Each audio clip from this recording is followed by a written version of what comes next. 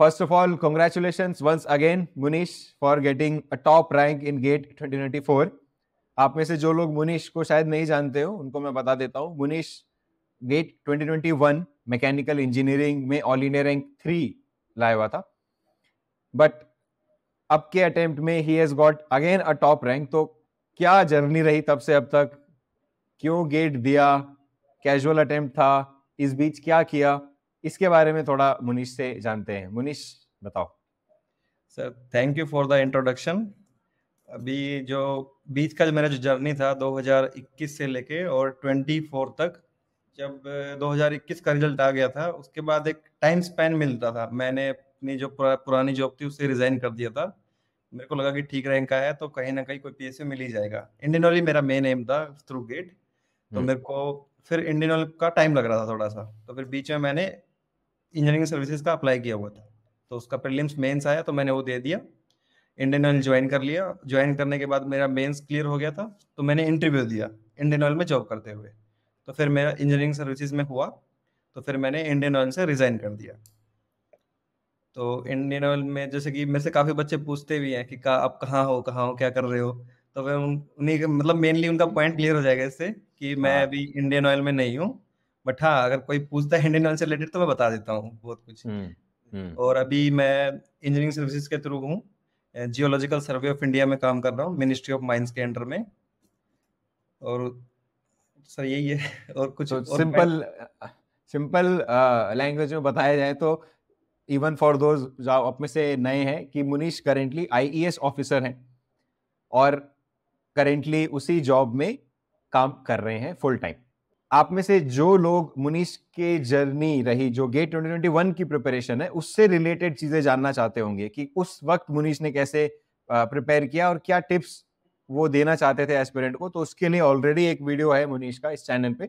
आप वो वीडियो इस वीडियो के बाद देख सकते हैं। बट फ़िलहाल इस वाले वीडियो में हम कुछ अलग तरीके का डिस्कशन करेंगे मुनीश के साथ। सबसे पहले तो मुनीश ये बताओ कि ये वाला अटेम्प्ट जो था वो तुमने फिर कैसे दिया? क्यों दिया?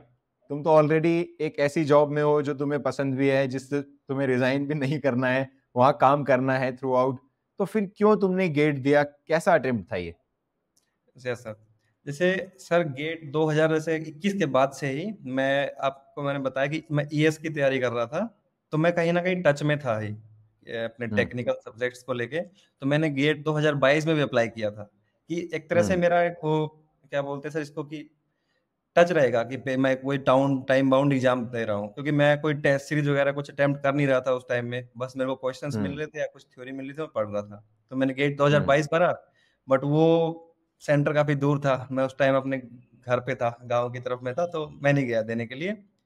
फिर ऐसे फिर मैं ईएस हो गया था उसके बाद से फिर भी मैंने कंटिन्यू ही रखा।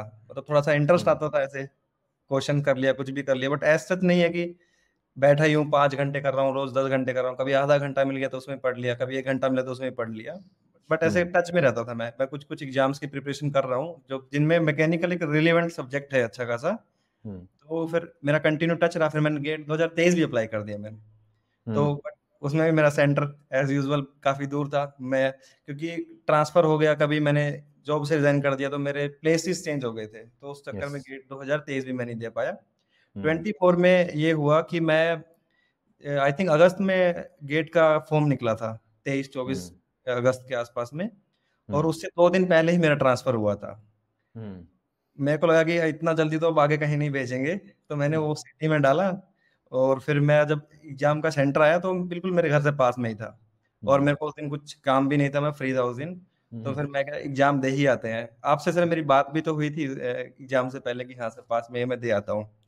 Yes. और एग्ज़ाम में जो मैंने मेनली जो डिफरेंस फेस किया ना मतलब डिफरेंस होता है क्योंकि मैंने बाईस ने नहीं दिया तेईस नहीं दिया चौबीस सीधा मैं दे रहा हूँ हम्म। और इक्कीस के बाद इक्कीस में मेरा टच था मैं टेस्ट सीरीज़ भी देता था मैं हम्म। काफ़ी चीज़ें प्रैक्टिस करता था क्वेश्चन बैंक भी करता था लेक्चर्स भी हम्म। देखता था उस टाइम बहुत कुछ किया है बट अभी वैसा कुछ फ़ेज़ था नहीं कि मैं कोई टेस्ट सीरीज़ दूँ मतलब टाइम बाउंड की कहें तो मेरी प्रैक्टिस नहीं थी तो जब मेरा पहला क्वेश्चन आया गेट 2024 में पहला क्वेश्चन अभी शायद एम हुआ है वो क्वेश्चन जो एक कुछ टेट्राहेड्रन करके एंगल का कुछ था।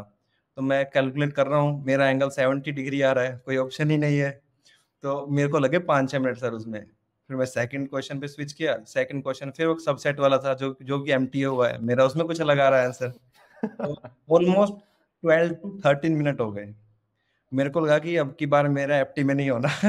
प्रैक्टिस नहीं है एफ़ मैंने देखा भी नहीं पिछले ढाई तीन साल से तो मैं इसको हटाओ करो इसको। टेक्निकल पे चलते हैं। तो बारह तेरह मिनट हो गए थे फिर मैं टेक्निकल पे गया पहला ही क्वेश्चन कुछ एक आया हुआ था जिसमें ब्लॉक ऐसे मूव कर रहा था एंगल निकालना था। थर्टी फाइव कुछ आ रहा था एंगल तो हम्म। उस क्वेश्चन को मेरे को सिंपल सर एक एक मार्क्स का क्वेश्चन था उसको करने में मेरे को नौ से दस मिनट लग गए। मतलब बाईस मिनट में मैंने पहला टिक किया है। कोई अब मैं मुझे लग रहा है मानेंगे नहीं बहुत सारे।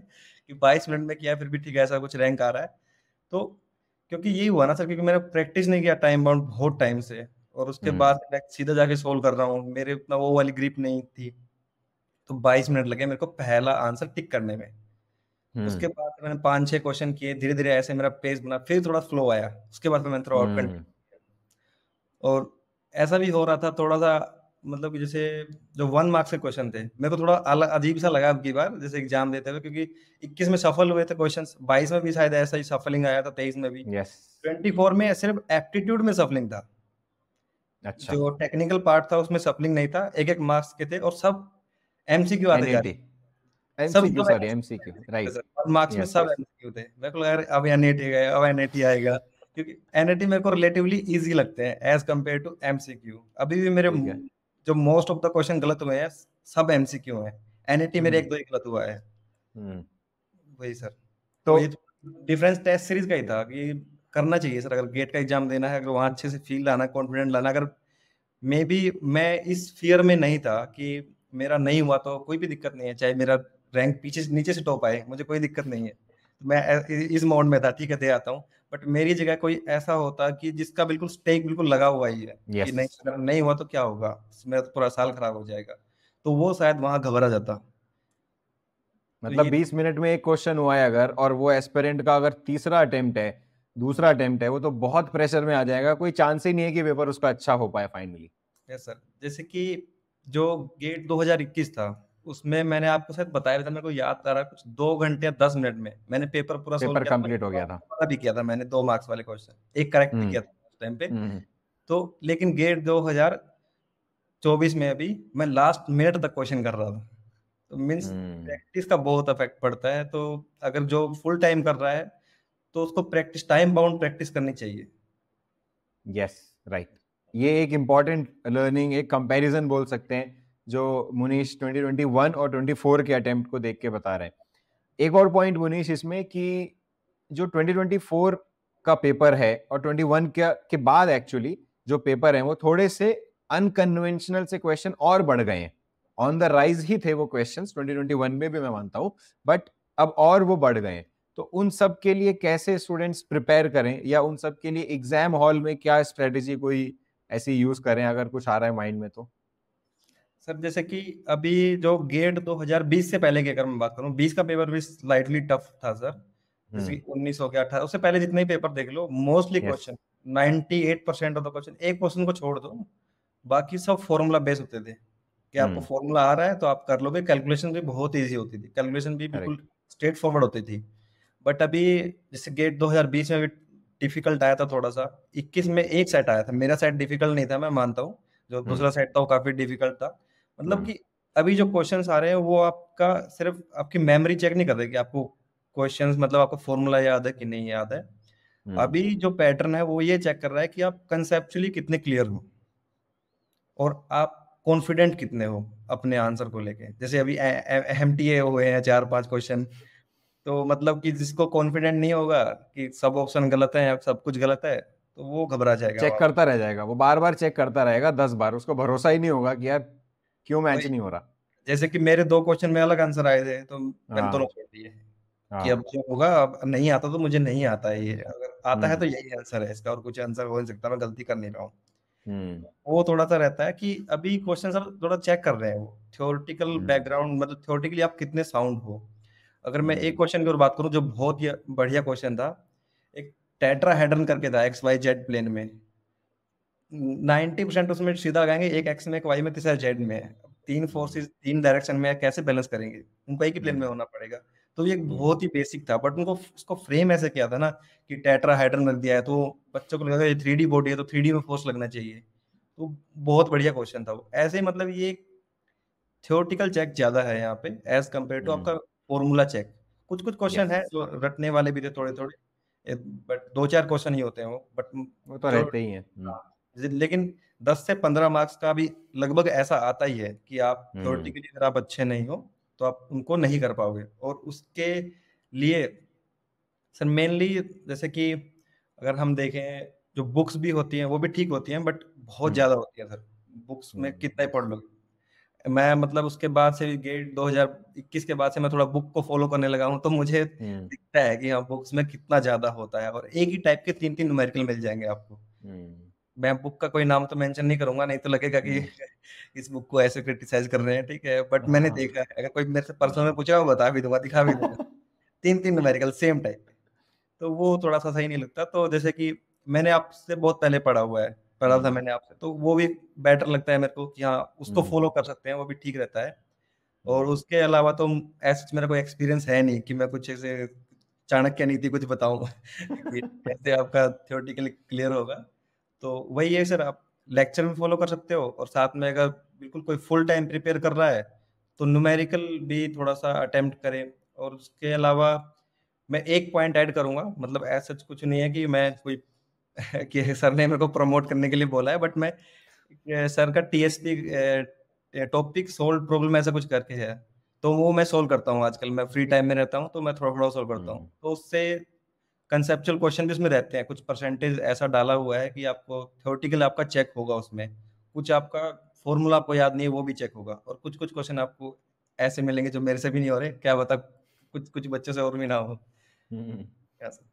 करेक्ट वो एक्चुअली अभी उस पर काम चल रहा है। आ, मतलब ऑलमोस्ट खत्म हो गया उसका काम तो बहुत आ, कम बच्चों ने अभी पूरा अटेम्प्ट किया है वो। तो अभी वो धीरे धीरे आइडिया लगेगा बट अभी कुछ मंथ वीक्स पहले ही मुनीश ने मुझे कहा कि, सर, मेरे को थोड़ा सॉल्व करने के मन, का मन हो रहा है और क्वेश्चंस तो आप मुझे टीएसपी की भी एक्सेस दीजिए। तो फिर मुनीश को टीएसपी की भी एक्सेस दी। तो करेंटली अभी मुनीश टीएसपी क्वेश्चन सॉल्व कर रहा है।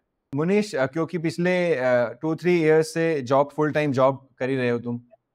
और एज सच एक्टिवली तुम किसी एग्ज़ाम की प्रिपरेशन तो नहीं कर रहे हो फ़िलहाल बट हाँ क्वेश्चन सॉल्विंग और इस सबसे टच में रहते ही हो।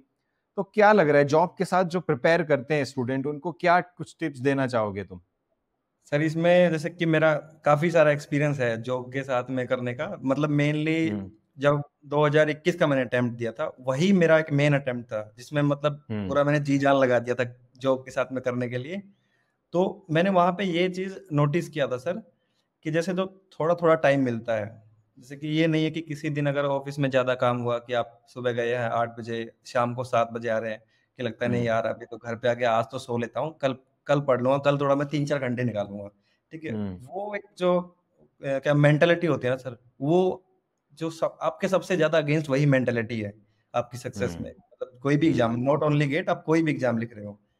तो जितना भी टाइम मिलता है जैसे कि मेरे को वहाँ भी जैसे जितना टाइम मिलता था घर पे आने के बाद अगर कभी मेरे को एक घंटा भी मिला तो मैंने उसमें भी पढ़ा है उसमें भी मैंने उसको हम्म। ये, ये नहीं सोचा कि नहीं कल थोड़ा जल्दी आ जाऊँगा ऑफ़िस से बोल दूँगा कि काम है और ज़्यादा पढ़ लूँगा। ऐसा नहीं होना चाहिए। जिस दिन जितना टाइम मिल रहा है चाहे आधा घंटा मिल रहा है चाहे दो घंटे मिल रहे हैं वो यूटिलाइज करना चाहिए। ये मैंने स्टार्टिंग में हम्म। किया था पूरा फुल्ली उसके बाद गेट हो गया तो थोड़ा सा रेजिस्टेंस आ गया कि अब तो हो ही गया अब क्या ही है। फिर जो ई e किया था उस टाइम में मैं जॉब कर नहीं कर रहा था। मैंने वहाँ से रिजाइन कर दिया था इंडियन ऑयल में मेरा कुछ हुआ नहीं था तब तक। तो उस पेस में किया था हम्म। और उसके बाद फिर ई e में मैंने ज्वाइन किया। तो एज सच अभी कोई जॉब का तो प्रिपरेशन मेरा नहीं है मतलब कि हाँ कि मैं कोई एम ही कर रहा हूँ कि ये तो मेरे को चाहिए ही चाहिए अब तो कुछ भी हो जाए ऐसा कुछ वो नहीं मोटिवेशन नहीं है बट हम्म। अच्छा लगता है क्वेश्चंस वगैरह करना काफ़ी और अलग अलग चीज़ें पढ़ना भी अच्छा लगता है तो पढ़ता हम्म। रहता हूँ बट उसमें यही है मैं कभी ये नहीं करता कि आप आज मेरे को नहीं आज मेरे को आधा घंटा ही मिल रहा है तो आज नहीं पढ़ूँगा मैं मेरे को जिस हम्म। दिन जितना टाइम मिलता है चाहे पंद्रह मिनट भी मिले चाहे मेरे को मेरे दो क्वेश्चन हो मैं करता हूँ हम्म। और वही थ्रू आउट द टाइम जैसे बोलते हैं ना सर कि ऐसे एक वैल्यू है वन है।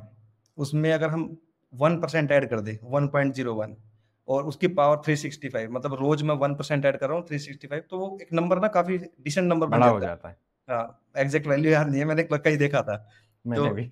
हाँ और अगर आप उस वन में से थोड़ा घटा दो जैसे कि पॉइंट नाइन उसकी पावर थ्री सिक्सटी फाइव करो वो ऑलमोस्ट वैसे हम्म, ज़ीरो की तरफ़ चला जाएगा। तो ये बिल्कुल। वन पॉइंट ज़ीरो वन जो है ना एक दिन में नहीं दिखता लेकिन थ्रू आउट द ईयर जब चलता है तो by the end of the day ये दिखता है। तो कभी ऐसा नहीं सोचना चाहिए कि आज मेरे को टाइम कम मिला है या मैं एग्जॉस्ट हो गया हूँ। थोड़ा मोटिवेटेड उसके लिए रहना चाहिए कि चाहे थोड़ा सा भी yes. हो बट कभी ना कभी हेल्पफुल रहेगा कभी ना कभी मेरे को इससे फ़ायदा होगा। तो वो सोच के हमेशा चलना चाहिए। बिल्कुल। और इसका ये भी प्रूफ है कि जैसे मुनीश ने इस बार जैसे बताया गेट दिया एक कैजुअल अटेम्प्ट ऐसे ही चले गए, कुछ अलग से प्रिपरेशन नहीं।